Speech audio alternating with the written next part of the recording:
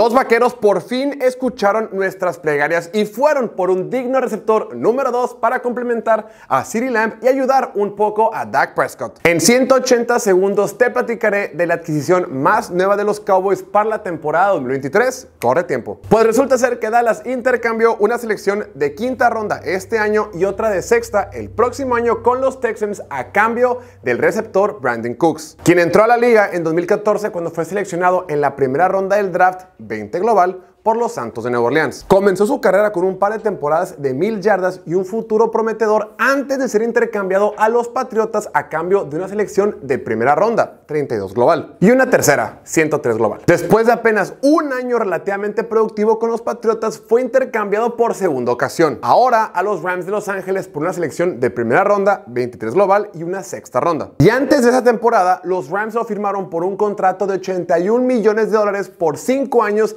y en 2018 tuvo quizás su mejor temporada en la superofensiva de los Rams que llegó hasta el Super Bowl. Pero al final de apenas su segundo año bajo contrato con los Rams, Cooks fue intercambiado por tercera ocasión en su carrera. Los Rams me lo mandaron a Houston por una selección de segunda ronda, 57 global. Y ahora, o sea, la semana pasada, con su intercambio a los Vaqueros, Cooks ha sido intercambiado en total por dos selecciones de primera ronda, una segunda, una tercera, una quinta y dos sextas. Dichas selecciones se convirtieron en Ryan Ramsich y Trey Hendrickson para los Saints, Isaiah Wynn, Keon Crossen, Ryan Iso y Baron Coward para los Patriots y el receptor Van Jefferson para los Rams. Y claro, las dos que le mandó a Houston aún no sabemos quiénes serán. Pero a ver, veamos. En nueve años como profesional ha acumulado 8.616 yardas y 49 touchdowns en 630 recepciones. Es uno de los receptores más rápidos en la NFL y para la que ha presentado se me hace muy raro que haya sido intercambiado tantas veces, porque la neta juega bastante bien. De hecho, Cooks está empatado con Kiko Alonso y Eric Dickerson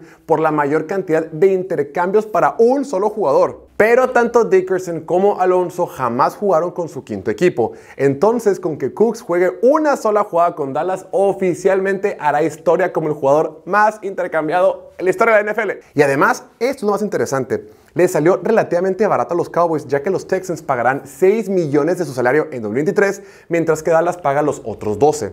Cooks tiene apenas 29 años y todavía ofrece mucho como receptor de la NFL. Quizás junto a Dak Prescott logre encontrar algo de estabilidad en su carrera y no sea intercambiado por una quinta ocasión. Eso ya sería demasiado. Digo, apenas hace dos años dijo que no aceptaría otro intercambio en su carrera, pero pues todo cambió cuando Deshaun Watson se metió en una infinidad de problemas y al final fue intercambiado a Cleveland. Tampoco lo puedes culpar por no querer seguir jugando con Davis Mills. Esperemos que con su llegada a la ofensiva de los vaqueros se pueda replicar el super temporadón que tuvo Prescott en su único año completo con dos receptores número uno, cuando acumuló 37 touchdowns y tan solo 10 intercepciones, con la ayuda de aquel entonces de Amari Cooper y CeeDee Lamb. Ahora con la dupla de CeeDee Lamb y Brandon Cooks, Prescott deberá callar muchas bocas en este 2023. No olvides suscribirte para más contenido de fútbol americano.